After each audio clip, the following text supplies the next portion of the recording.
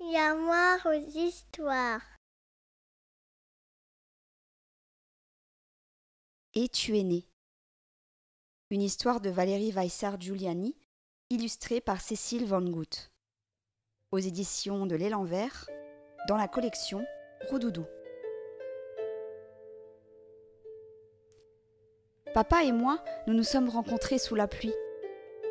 Chacun cherchait un abri. Au fil des semaines, sa main n'a plus quitté la mienne. Nous avons construit notre cocon, notre maison.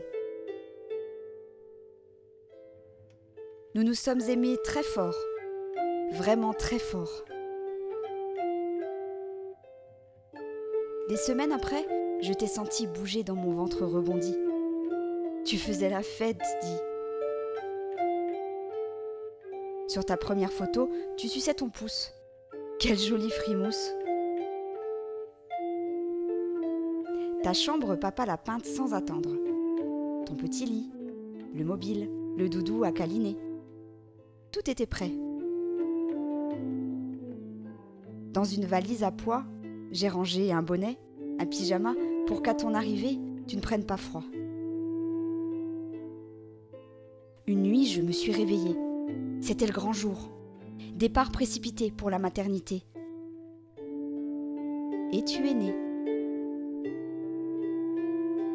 Ton premier sourire a été pour papa et moi. Nous sommes maintenant parents.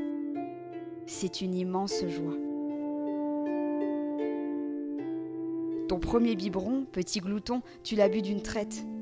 Sur tes jolis joues riaient des fossettes. Dans les grands bras de papa, tu paraissais minuscule.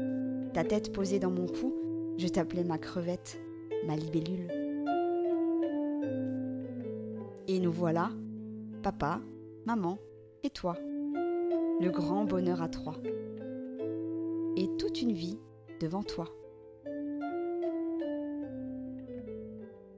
C'était Et tu es né, une histoire de Valérie Weissart Giuliani, illustrée par Cécile Van Gout aux éditions de l'Élan Vert, dans la collection Roudoudou.